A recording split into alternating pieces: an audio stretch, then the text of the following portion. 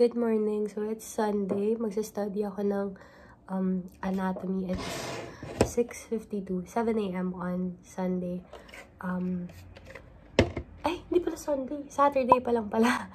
Ayun, I have to study for my exam next week na anatomy kasi medyo, hindi pala medyo, super baba ko sa first exam namin na anatomy. So, wala akong bumawi. Pag in-upload ko, ibig sabihin, nabawi ko yun. This whole weekend, kailangan nag-aaral lang talaga ako. Eleven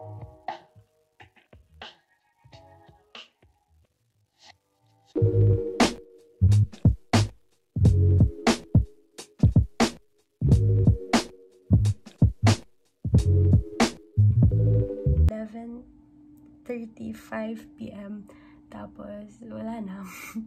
wala na pumapasok sa utak ko. Alam mo yung kapag binabasa mo yung mga words naman, pero hindi na nagme-make sense sa yung mga words. Yun yung nangyari sa at moment. At kapag nagaganon ako, I take it as a sign to rest na.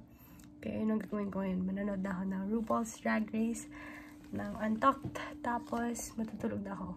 Bukas na ulit. Good night, everyone. Good morning. It's um, Sunday, 7 7 a.m. Um, pinag-iisipan ko if I should study or work out. Parang tinatamad ako mag-workout. So, mamag-aral na lang ako. Tapos, ayun, yun lang ata yung gagawin ko for today. Bukas pa ako aalis at gaganap. Kaya, ayun, kailangan mag-aral. Kasi hindi ako makakapag-aral bukas masyado.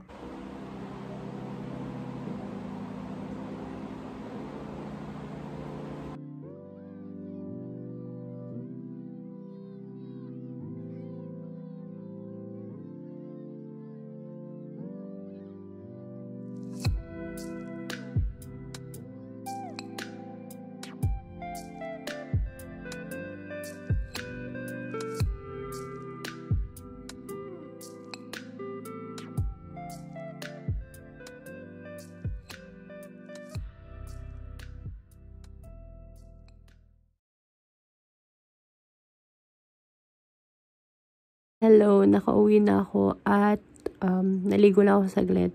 So, ngayon, mag-aaral na ulit ako. Eh, ah, tamad ako. Joke lang. One half. Pero ang dami ko pa kailangang aralin. Kaya, wala akong oras para magreklamo. Bye!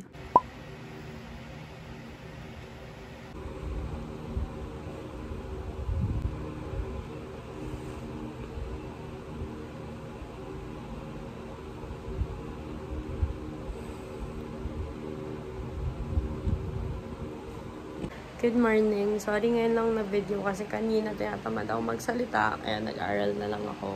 Um, agad pagkagising ko. Ngayon, tinatamad na ako. Nakatapos ako ng isang trans lang. Tapos tinatamad na ako. Tinan niyo yung mga video call ko. Sleep well na sila.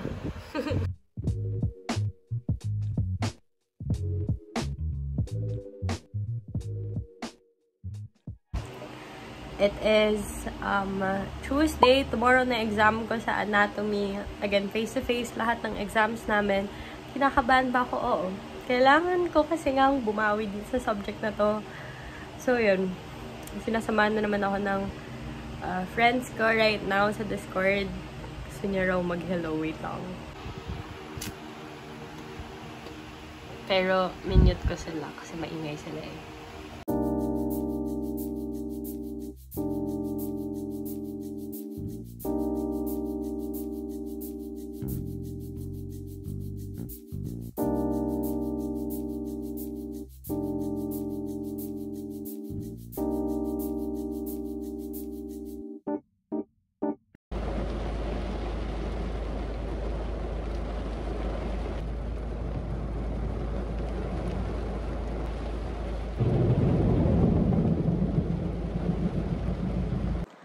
Okay, so Wednesday na. Later na yung uh, exam ko.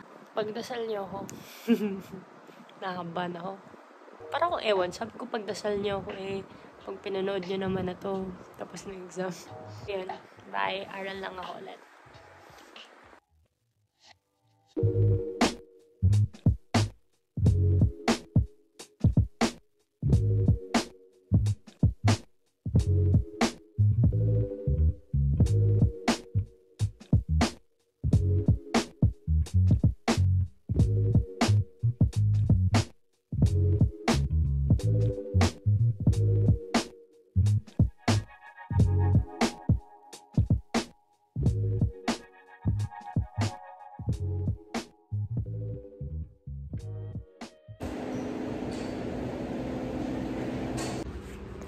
Pasado ako sa lec, guys. Ngayon, magsa-study na ako for, our lab exam. Pumunta pa ako dito sa parang room na walang tao para mag-vlog ko to, para masabi ko to. Okay, wait lang.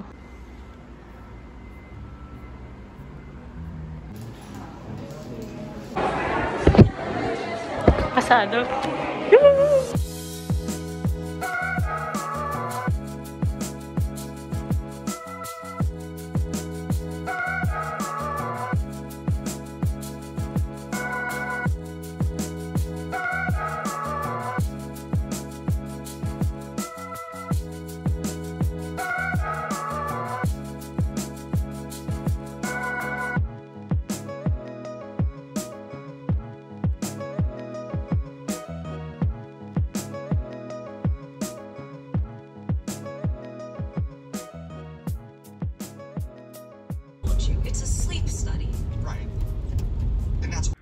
Hello, so I'm home and I'm tired. Maliligo lang ako and then I'm gonna spend the rest of the night asleep na kasi deserve kong matulog. Bukas na ako mag-aaral.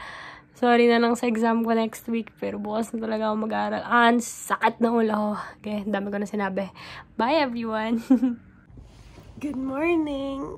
Uh, it's Thursday.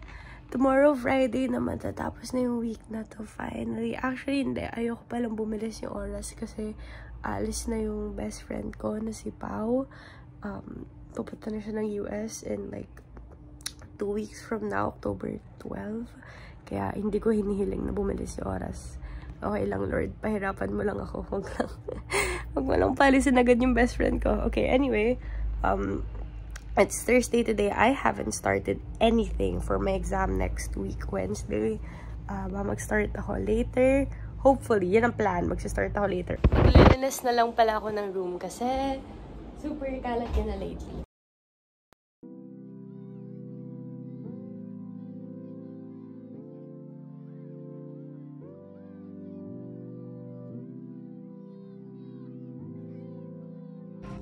Hi, now I'm gonna work out, ligo, work, tapos study.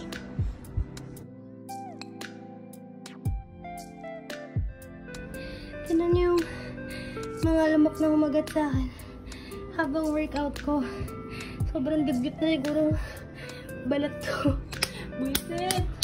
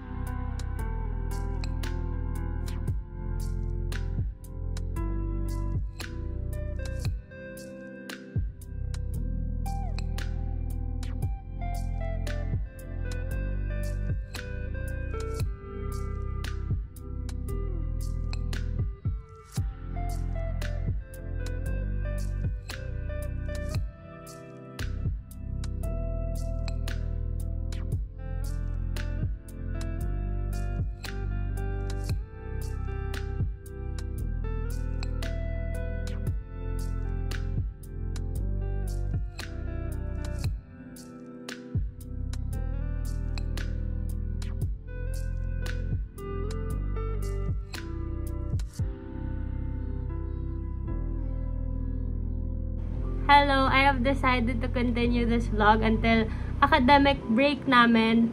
Uh, hindi pala academic break, parang sports fest week. Pero parang break kasi wala kami acad during the whole week.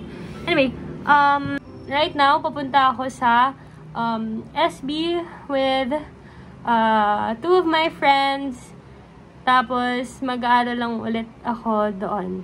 Pero makikibanding muna ako for like an hour. Tapos, sasabihin ko na na, guys, kailangan mag-aral.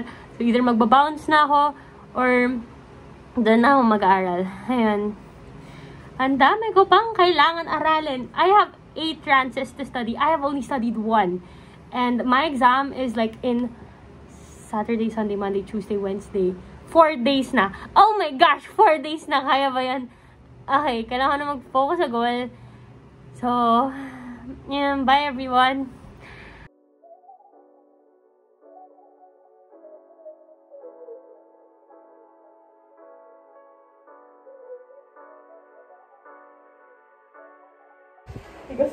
Niyan.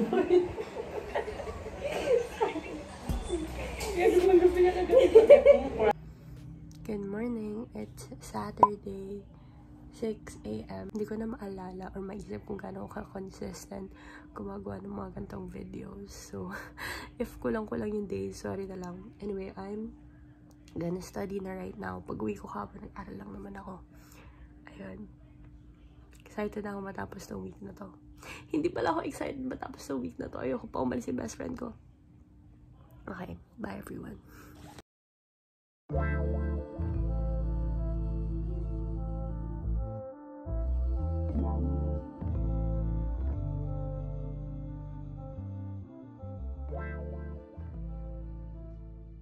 Hello! So it's 1.28 a.m.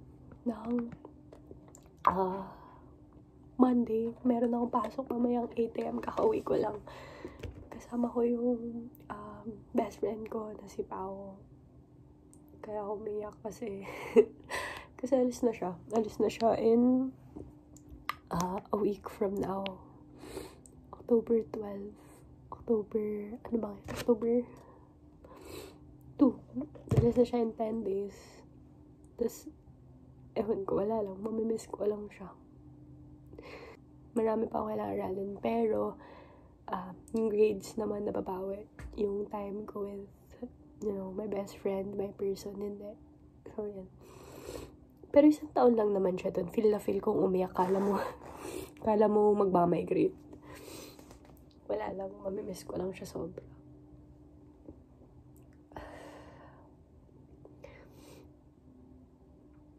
Okay. Kailangan ko na mag-aral ulit. Bye-bye. 1M na ako! Amazing! Oh, alam niyo ba, hindi ko na dapat ipopost tong vlog eh. Kasi parang paulit-ulit na lang yung mga nangyayari everyday.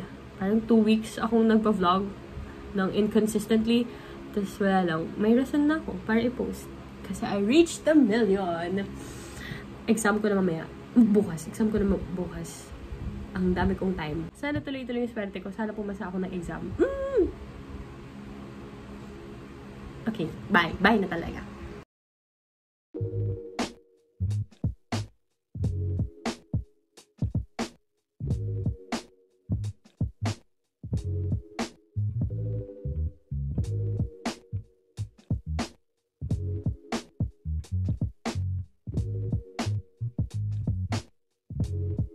Good morning. It's Wednesday. Um, 8.16 a.m. Later na yung exam namin. Mag-study muna ako.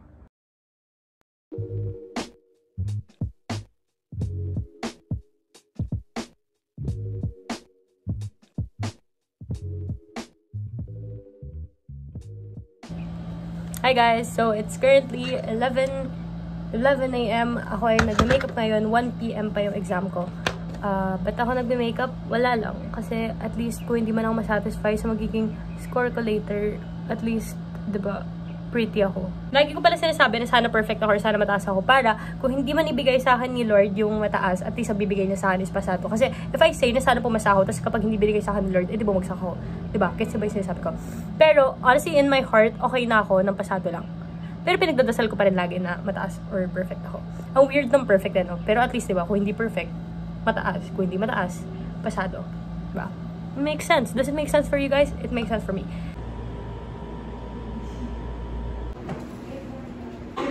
Pasado, guys!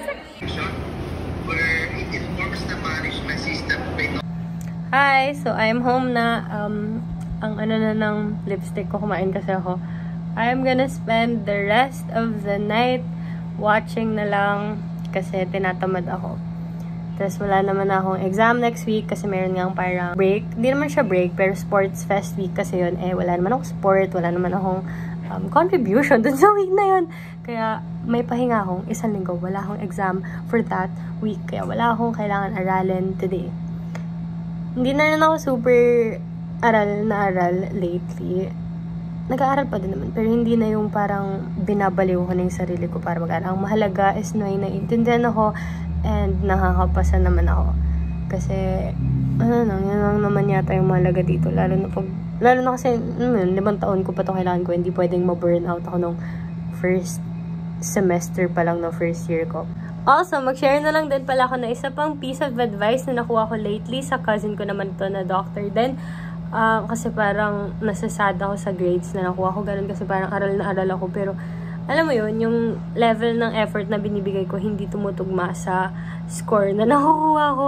Anyway, um, sabi sa akin ng uh, cousin ko, wag na raw, parang wag na raw maging masyadong grade conscious kasi at the end of the day, hindi naman tatanungin sa'yo ng magiging future na patient po kung ano yung score mo sa first exam mo nung biochem. Alam mo yun, ang mahalaga lang pumasa ka kasi hindi naman nila malalaman if you were the highest in your class, if ikaw yung pinaka bagsak sa bagsak.